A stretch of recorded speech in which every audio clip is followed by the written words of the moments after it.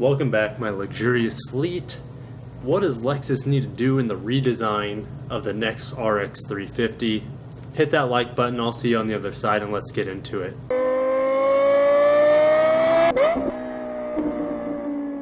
The Lexus RX 350 is the best selling luxury crossover vehicle in the entire United States. It used to be the best selling luxury vehicle, period, uh, but that has now been changed to Tesla Model 3, if you want to count it a luxury car.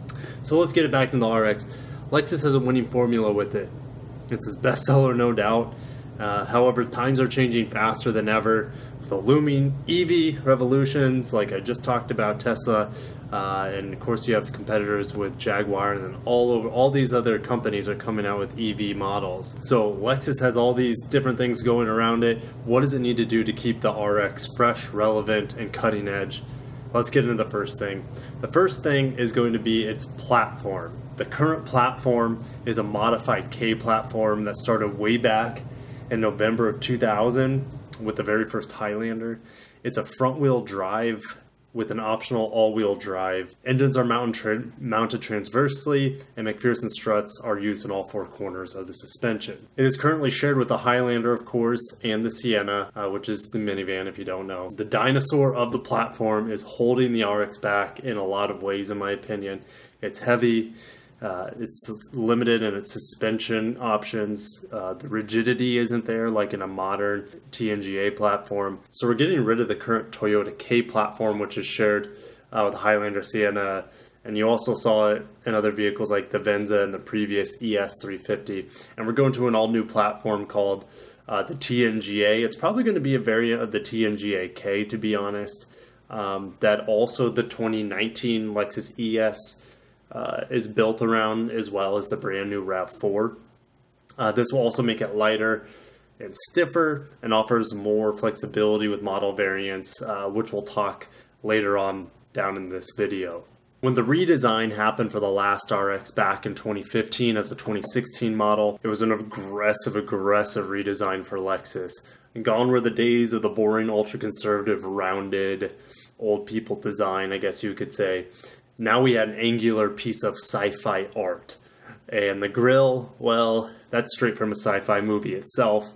the RX has optional triple beam headlights, which still look great even today.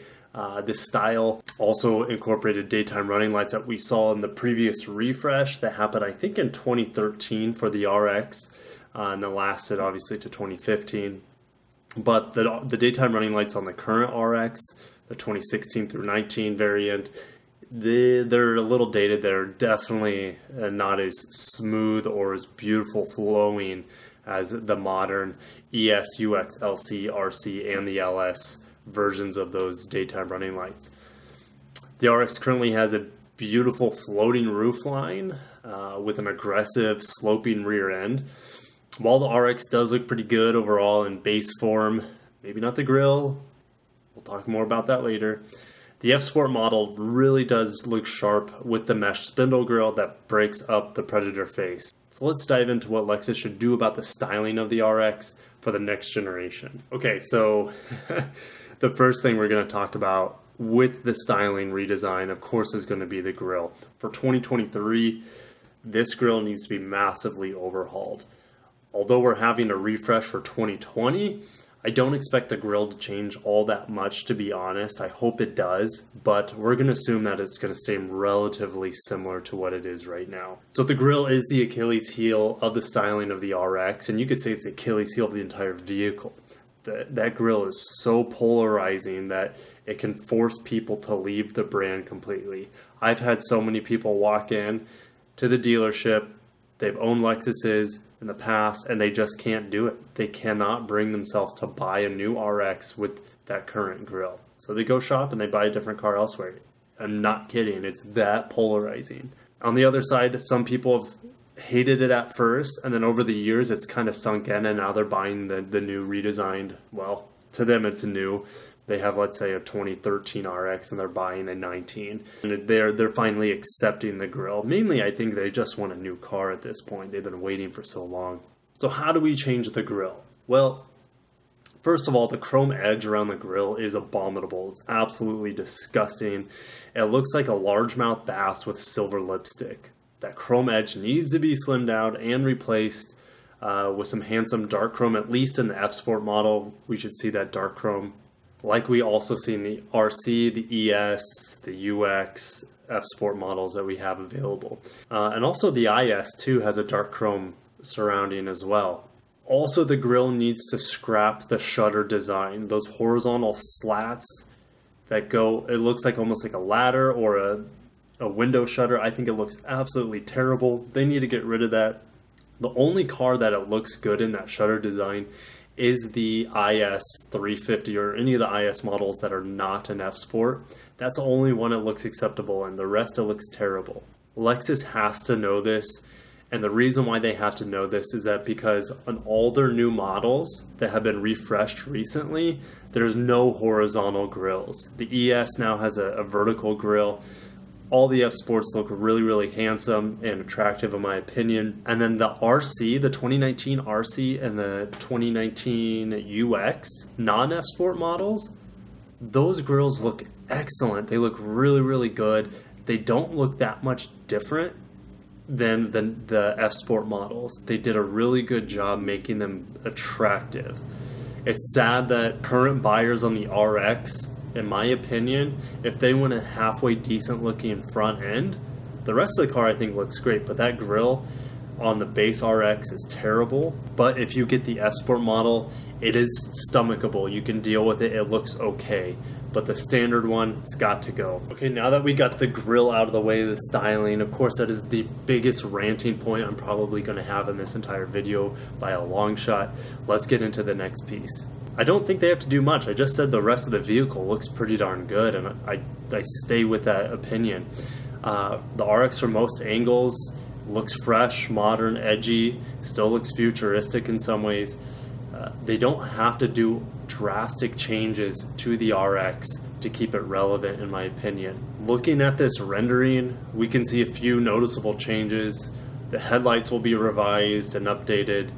Expect them to be similar to the 19s, the 2019 ES triple beam headlights, or even possibly uh, more modern than that. We might see a headlight change with the 2020 refresh, uh, but let's let's assume that they're not going to do a headlight change. Let's assume that it's just going to be the bump, maybe the bumpers, the wheels, and maybe some minor interior differences with that 2020 refresh. Let's get back to the 2023 and what they, they could do. The fenders back in this concept image are much more aggressive, which would be, I think, a welcome change for the RX. Yes, the RX is very luxury oriented. Yes, I think they can still keep that even with more aggressive fender bodies um, I think it would look pretty good and differentiate itself a little bit more than the current one.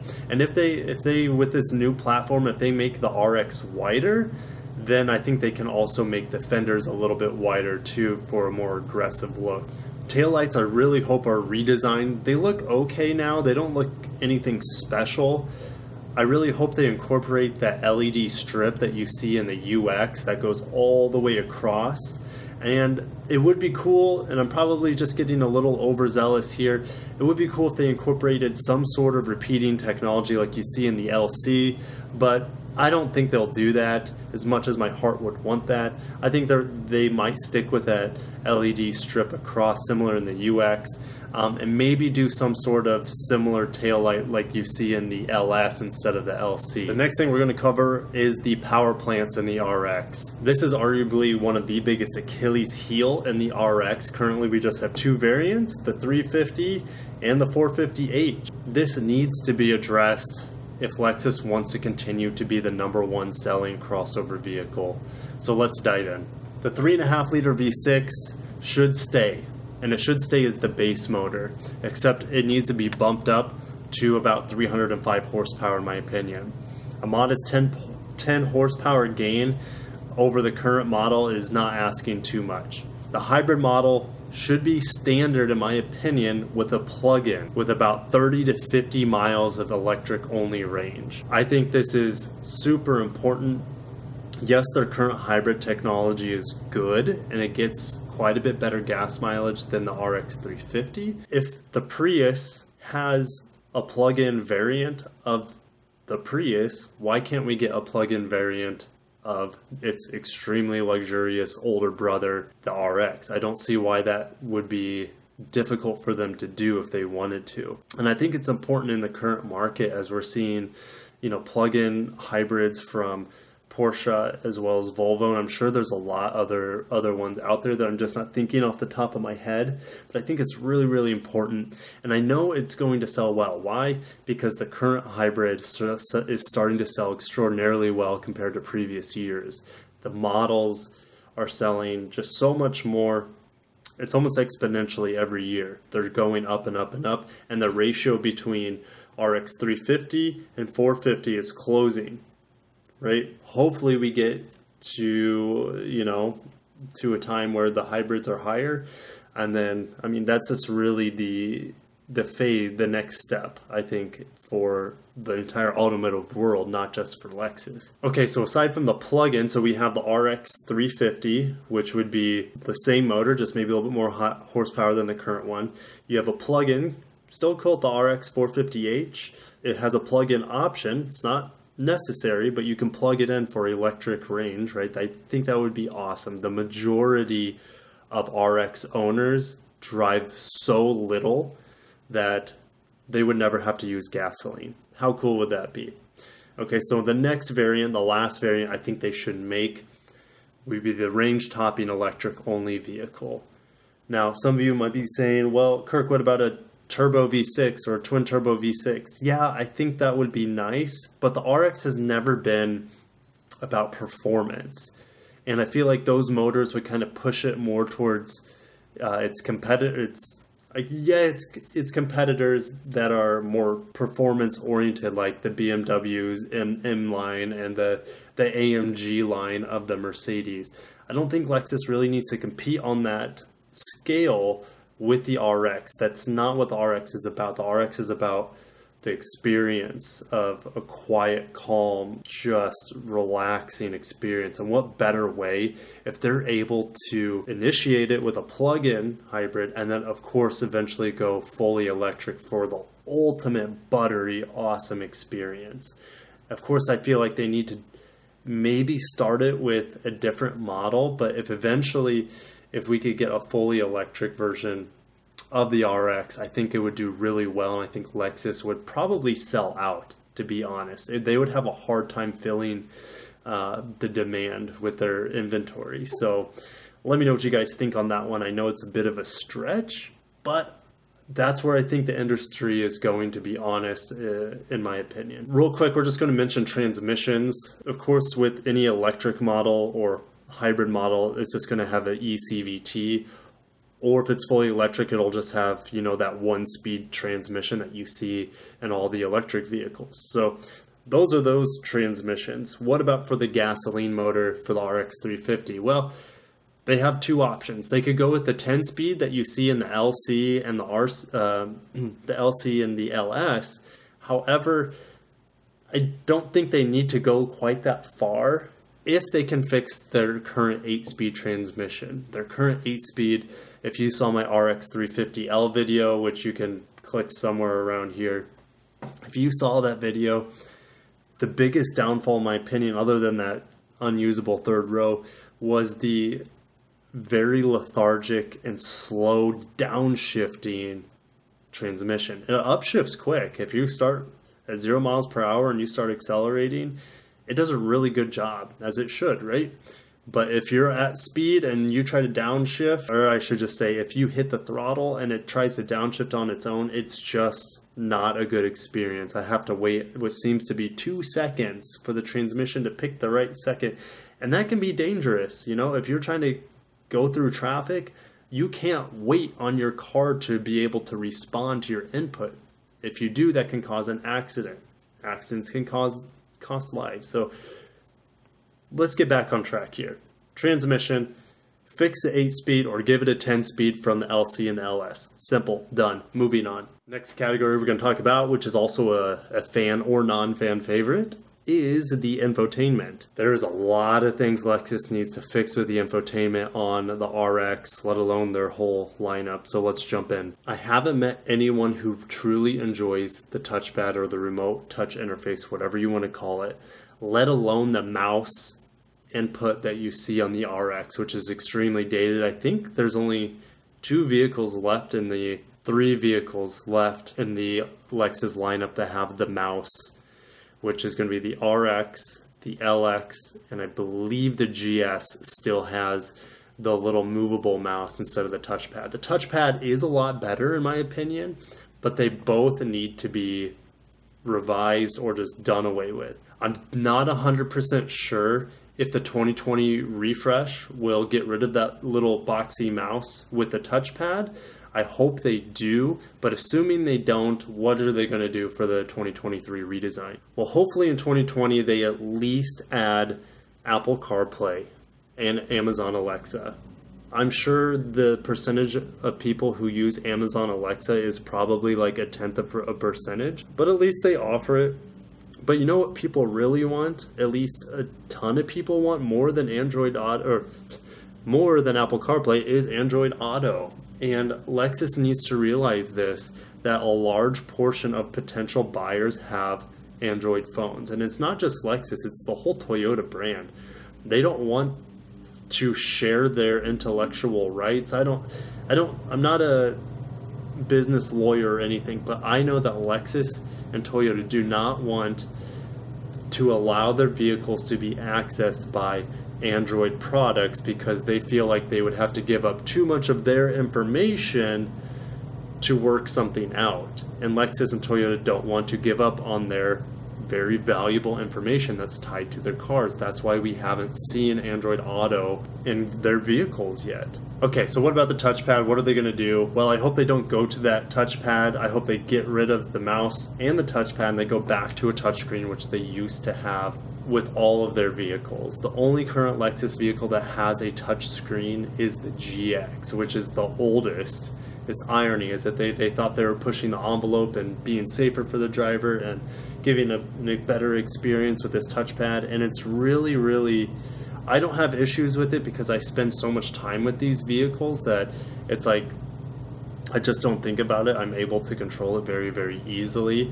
But it's not that intuitive. You give anyone a touchscreen, they can figure it out like that. It's so much easier and you don't have to fumble around with a third controller. There's it's you and the screen instead of you an object to control in the screen. It's just too much while you're in a car. And there are rumors of Lexus working on a touchscreen for the RX. I just don't know when they're going to incorporate it.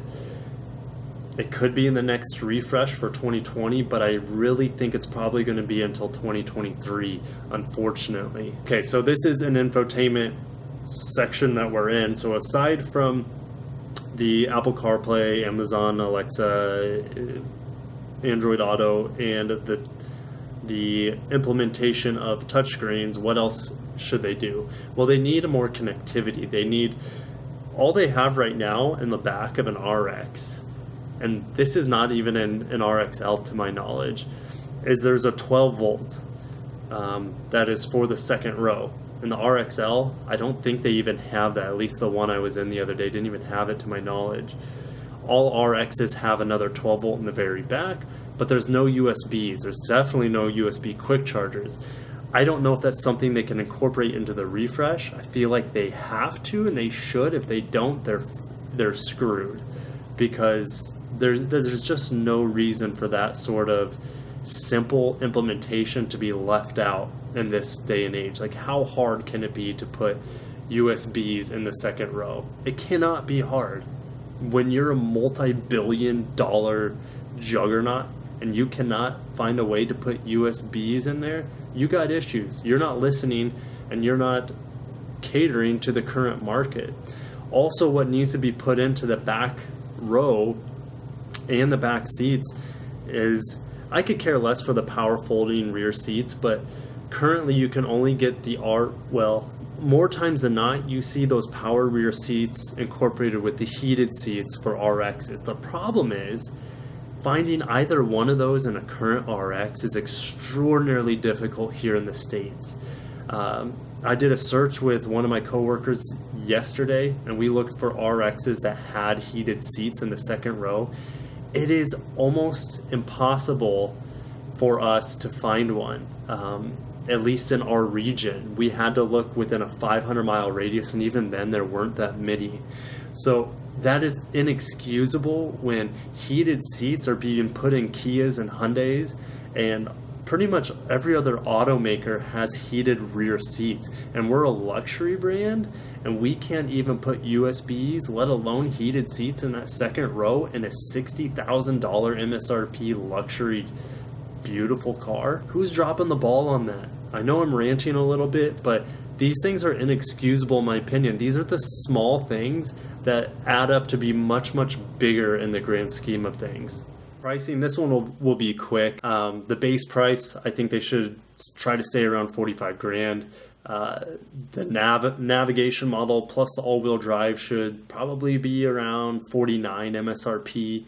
Of course, finding that car is going to be really hard because most of the time currently our nav models are around 52 53 with all-wheel drive because they put in a lot of those extra packages. The next one which if oh, god willing they make a plug-in hybrid electric vehicle i think that should start around 55 and then obviously with different packages go up from there. And if they make an ev only i think that should start around 70 grand and then work its way up. But that sums it up for the pricing. I mean it's all here it's all conjecture at this point. So uh, let's just finish up this video. So for the 2023 model year refresh for the RX 350, the good news for Lexus is they don't need to do much. They have a winning formula. They know what people want to buy, and that that is pretty much the RX. People want to buy this crossover. It's just a, so many things right, but there's so many things that they need to put into it to just make it perfect jumping to a new platform is going to help tremendously. I think it's going to give them a lot more customization options for the new RX. Minimal styling upgrades. They don't need to do much. It already looks great. Just address the grill with the things I mentioned before, and you're going to have one of the best looking crossovers on the market. The addition of the plug in electric vehicle must happen, in my opinion, for them to keep up with the current times and the current automotive trends and moving industry. An all electric variant is a pipe dream. I don't know if they'll do something that radical. It might have to be after a couple other models. Let's say if an LS uh, comes out with it, or their brand new LF1 Limitless comes to production, that could probably be all electric. I think it'll eventually trickle down into the RX. The sooner the better, though. Add Apple CarPlay, add Amazon Alexa, add Android Auto, add USBs in the back, add heated rear seats to be something that's easily orderable and accessible and attainable to the masses. Do all these things, and the RX is pretty much perfect. It's close now, but all for if if I'm able to make a video on on how to improve the next generation RX, that's I don't know. I have no idea how long it is at this point. It could be about 15 minutes. 15 minutes of me talking nonstop about how to improve the RX. I sure hope Lexus addresses these things. Yes, the RX is good, but it's far from perfect. And if they do these things, I tell you, they will not only stay number one for the top luxury crossover, they will put everyone else to shame. But we'll see what they do. They can't do all of these things because that would just be a perfect world, right? They're not going to listen to this video. They could care less. They don't always listen to their customers, even though they're doing a better job of it. But I'll see you guys in the comments below. I know this has been a long one. Let me know what you guys think. What should Lexus do with the new RX? I know I probably addressed most of them, but there could be things I don't own the vehicle. So it, there's some owners out there. I'm sure you guys would express your concerns uh, and wants in the new RX. Definitely put that down below. Hit that like button, guys, and I'll see you in the next video. Peace.